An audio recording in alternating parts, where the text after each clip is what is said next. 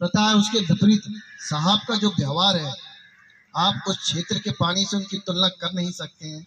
साहब का जो व्यवहार है, बहुत ही ज़्यादा मृदु है, सहयोगी, सकारात्मक व्यवहार है और हमेशा आपके लिए तत्पर रहेंगे। किसी भी चीज़ के कोई भी रैंक का व्यक्ति हो, जवान हो, समकक्ष हो, उच्च अधिकारी जब भी साहब का नाम लिया, हम किसी के लिए साहब सदैव उपस्थित रहें और अपने अनुभव के द्वारा सभी को उचित सलाह दी है, अच्छी सलाह दी है।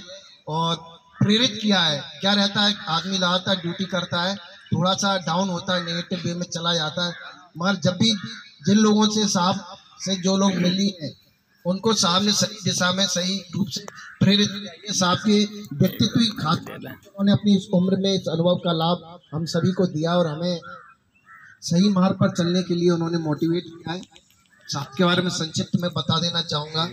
योगेंद्र सिंह साहब पंद्रह दस उन्नीस सौ बयासी को इस फोर्स में भर्ती हुए थे और जो सब इंस्पेक्टर रैंक है उन्होंने चार तीन दो हज़ार बाईस को ग्रहण की थी और एक छः दो हज़ार तेईस से, एक छः दो हज़ार तेईस से गेल बीजापुर में लगा आज इकतीस मई है, कल एक साल पूरा साहब को इस इकाई में हो गया है।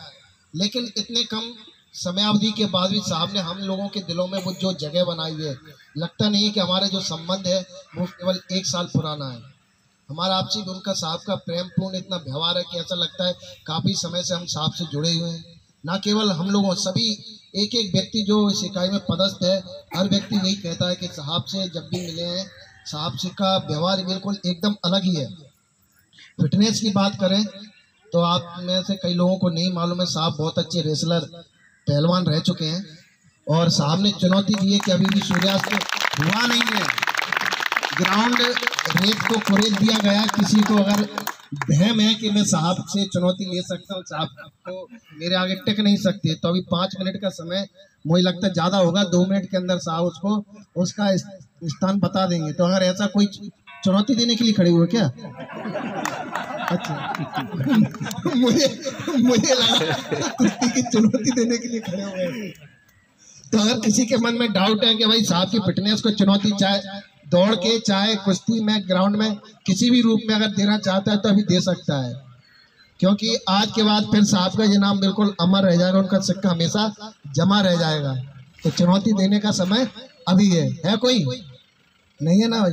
मैं तो सोचता भी नहीं भाई। मेरी तरफ़ क्यों देख रहा हूँ? तिरकी तिरकी सोच रहा है कि दे दूँ। तो भाई, अपनी जान अगर सबको प्यारी है तो चुनौती ना दी जाए, कार्यक्रम को आगे बढ़ाते हैं। साहब ने, और सबसे पहली पोस्टिंग साहब की, देवली देवली के उपरांत Ayushi Mathura, RDM Udaipur BSP Bhilai, OIL, Duliajan Burhanpur second RB Delhi SHG Noida, Mumbai airport MPT Mumbai KSTPP Korba WCL Chhindwara BIOP depot fourteen, और उसके उपरांत गेल बीजापुर में। इसके अतिरिक्त साहब एन एस जी में कमांडो के तौर पे अपने कर्तव्य पालना कर चुके हैं। सभी लोग मालूम, साहब एन कमांडो है, इसके उपरांत एस में भी साहब ने सेवा दी है और इस इकाई में भी, जैसा कि मैं आप लोगों को बता रहा था कि इस उम्र के, इस पड़ाव पर साठ साल की उम्र में क्यू क्विक रिएक्शन टीम, उनसे बेहतर ड्यूटी अभी तक किसी ने, उनकी जैसी चुस्ती, उनकी जैसी फुर्ती शायद किसी ने इकाई में ड्यूटी की हो, जब भी वो वीआईपी आते हैं, वीआईपी के आने के उनका लेकर आना हो पायलटिंग करना हो प्लांट में विज़िट करना हो। पिछले वर्ष डीआईजी साहब भी आए थे तो साहब से मिलकर बिल्कुल बहुत आनंदित हुए थे कि इस उम्र में इस फिटनेस के साथ क्यू ड्यूटी कर रहे हैं। तो ये हमारे लिए एक सीख का विषय है कि आदमी उम्र से कभी बूढ़ा नहीं होता। अगर आपका दिल जवान है, आपके हौसले बुलंद हैं तो आप हमेशा जवान ही बने रहेंगे। और फोर्स में तो हर रैंक को जवान ही बोला जाता है। ये फोर्स का जवान है। जवान किस लिए कि आप हमेशा उपलब्ध रहेंगे? जब समाज को, देश को आपकी आवश्यकता होगी, आप उपलब्ध रहेंगे। आपको कभी थकान का कोई कॉलम आपके लिए नहीं रहेगा। आप औरों से अलग हटकर अच्छे तरीके से करेंगे। इसलिए आपको जवान बोला जाता है ये सब चीज़ हमें योगेंद्र सिंह साहब को देखकर सीखने के लिए मिलती है। और साहब के साथ हर व्यक्ति का जोड़ा बहुत ही अच्छा रहा है। और साहब से, क्योंकि समय की सीमित समय है तो कुछ लोगों को मैं यहाँ पर आमंत्रित करूँगा। तो उनमें से आगे और साहब के संबंध में जो उनका आपसी व्यवहार रहा, आपसे जैसा तालमेल रहा, उसके बारे में बताते रहेंगे। सबसे पहले मैं आमंत्रित करना चाहूँगा एस आई आर के सिंह साहब को कि आकर साहब के संबंध में उनका पुराना परिचय भी रहा है, पहले का साथ भी रहा है तो ज़्यादा बेहतर साहब के बारे में जानते हैं।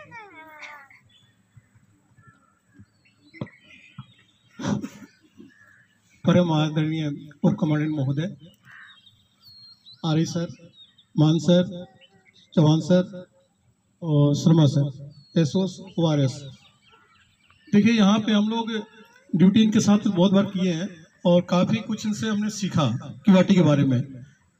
और ये हमेशा हमें कुछ ना कुछ मतलब सिखाए हैं, जैसे रिस्पॉन्स टाइम, ये, वो जो भी है। और इनके साथ मेरा परिचय बहुत पहले से था, जब इनकी उम्र थी करीब 24 साल। और मेरी उम्र थी उस समय 20 वर्ष।